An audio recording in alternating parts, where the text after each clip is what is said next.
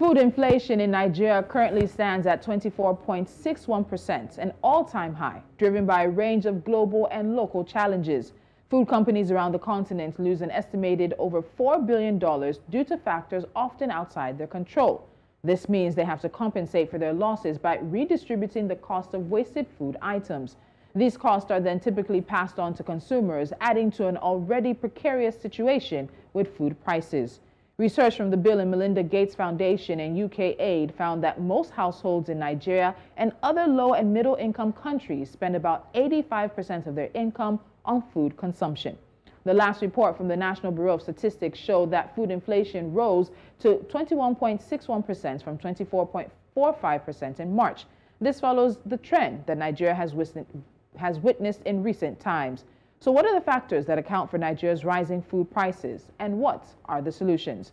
Joining me now is Tega Iortim, CEO and founder of Figorr, a technology company that develops Internet of Things powered solutions in order to support last mile delivery of perishable goods and also deliver new solutions that will make it easier to insure those goods across the continent.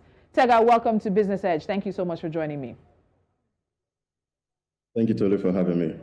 So I think where we need to start off is in terms of looking at the factors that really put together the equation that ends up making food prices, particularly here uh, in Nigeria. So Tega, starting from there, what are these factors that you've seen in recent times contributing to rising food prices uh, in Africa's largest economy?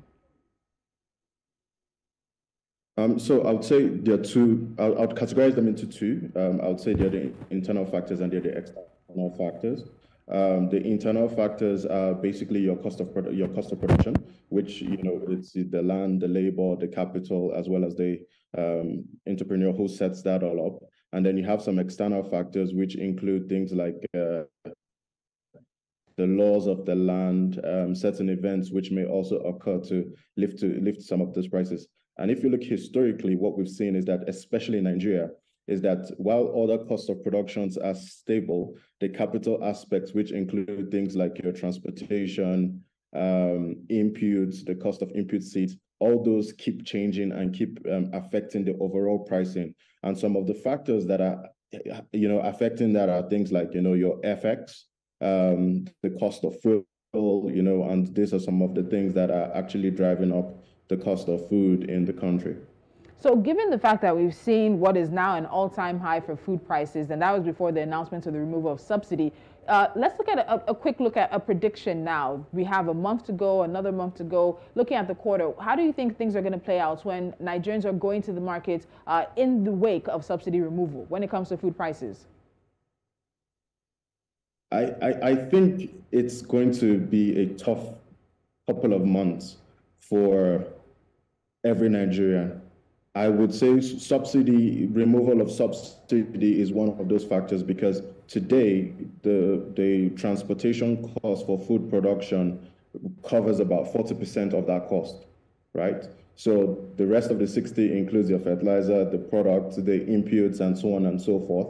That's 40% today. Now, increasing the fuel prices, increasing the price of um, PMS um, would typically add another layer to that cost. So I would expect that that should, you know, significantly go up.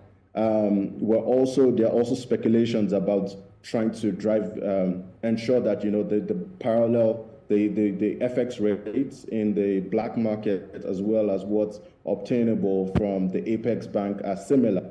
That is also another um, thing that we, we do expect should also affect you know the prices of inputs because when you look at the inputs, things like uh, fertilizer, you look at things like the seeds that go into the ground.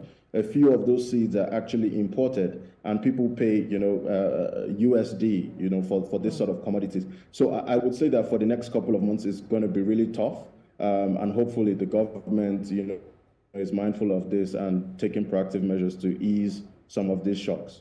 All right, so let's look at some specific food items now. In terms of this uh, significant increase we've seen in prices, is it across board or with particular items that end up being staples for many Nigerian households? I think it's gonna. I, I think it's across board. Um, and when we're looking at PMS, uh, premium motor spirit, It's um, what's used to fuel the vehicles that products from you know the farms to the points of aggregation, and then you have the larger trucks that now move the products. That transportation cost accounts for 40% of the total cost of food production today right? Removal of subsidy is going to drive up that cost. So it's going to cut across board. So your seeds, um, your fruits and vegetables, especially your fruits and vegetables, because those shelf lives are limited. So as you produce, you want to sell and get it out quickly. Maybe seeds may not be as drastic because you can store and wait it out. Um, so we may see um, some of the grains being produced this year being sold probably next year, and maybe the dynamics may have changed, um, but um, I think it's going to happen across board. All right, so uh, with the estimates and, and, the work that your company does, we're looking at some over $4 billion that's lost to uh, African food companies every year because of wastage. Let's go through this in terms of where that waste is and then also taking us to the opportunities because if we're having challenges, there are solutions and solution means that there are opportunities for us to make a, a, better, a better equation, a better opportunity for so many other people. Take us through that, Tega. Um, so when we're looking at food loss, we have different stages of food production. Um, you have the field when it's been grown. Um, so there's there's wastage that happens when you say I'm supposed to produce 15 tons per hectare, but I produce five, you know, tons per hectare. There are losses that may have happened on the seed level. But what we're majorly focused on as a business at Figorr is um, the the losses that happen across the supply chain after the food has been harvested, right? Now, there are huge amount of losses that occur across the sectors from things like theft to things like um, storage um, challenges, which also leads to a huge amount of losses that happen across multiple uh, multiple food, food types.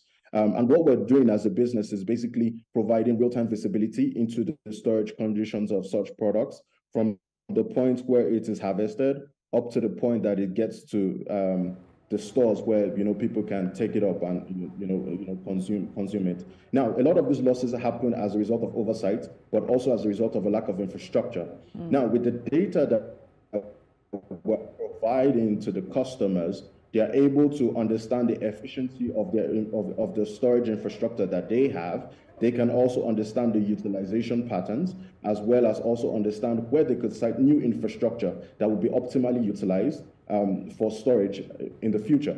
Right now, with this, when we look at the opportunities that abound in, in, in this sector, uh, one area that comes to mind that I've seen immediately is for the insurance players. Today, we, we see a lot of the insurance players shy away from um, covering, I would say, goods in transit for perishable products, largely because historically there's a lot of losses that occur in this sector.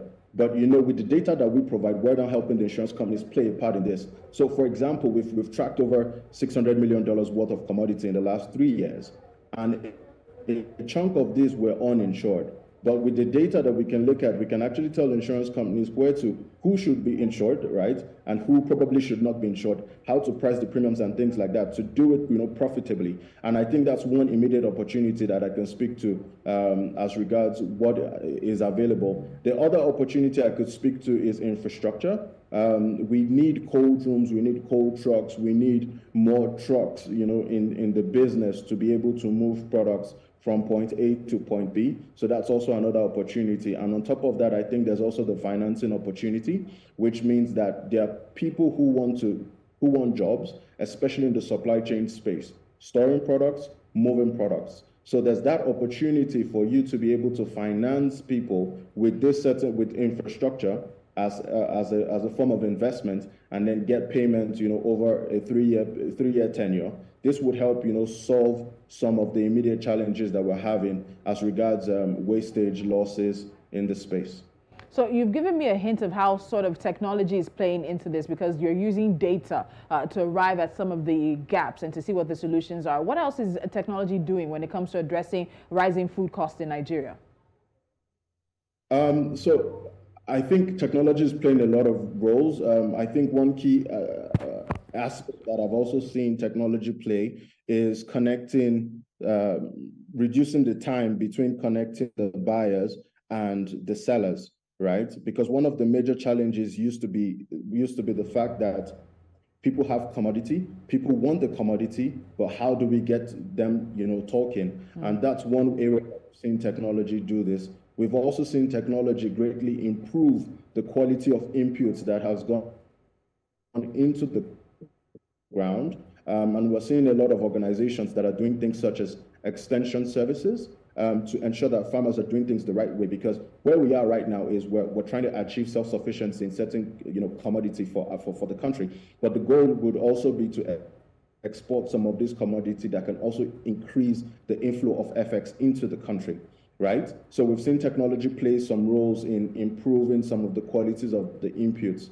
Um, we've seen technologies like ours improve data points to enhance storage, to enhance um, um, visibility of the business owners. Um, and you know, there's a lot of players in this space. We've also seen um, commodity exchange um, technology being implemented um, for you know sales of commodity and things like that. So, so there's been a lot of improvements in this space being driven by technology. All right, uh, Tega, before I let you go, in terms of long-term strategies to ensure food security and even stabilize prices, uh, what are we looking at? What should we be expecting? What should we be working towards? Because again, with the Russia-Ukraine crisis, we've seen an exposure of our dependency on importing food, our, our, dependency on food from anywhere else but really here locally. We've also seen the gap in what is the local production as well as the local demand. So in terms of uh, long-term strategies, food security, and of course, stabilizing prices, what should we be expecting? If you can give me that in about a minute? Um, I, I, think there's a lot, there's a lot to expect, um, but I think one of the things that was mentioned around having a, an exchange commission as well as building infrastructure, minimal pricing for commodities so that um, the government can offtake directly from the, from, the, from the farmers. I think this would spur a lot of investments in the agricultural space and also lead to, you know, um, uh, more activities, and more activities mean more more supply, um, which would you know typically meet the demand that is um, um, growing as well as also enhance um, export.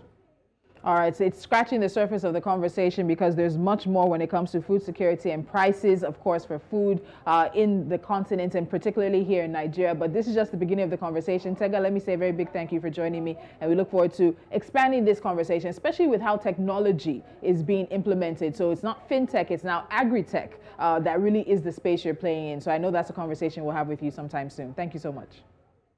Thank you so much, Eddie. Thank All you right. for having me. And with the conversation, there's so much interwoven connections, whether it's the financing, it's transportation, it's even being able to get employment in the agricultural sector here in Nigeria and across the continent. But what we know is that we bring these conversations to the fore because African business, the economy, and finance are things that we must explore on a daily basis for the growth and, of course, prosperity of our economies and the overall continent. We'll be wrapping things up right here, and I want you to know that you can go to our social media handles. We are at News Central TV. You can follow us there. You can also go to our website, which is www.newscentral.africa. Download our mobile app and take us with you wherever you are on the continent and outside as well. We're here for you 24 hours a day, seven days a week, putting Africa first. I'm Tolulokwe Adila Rubalogwa.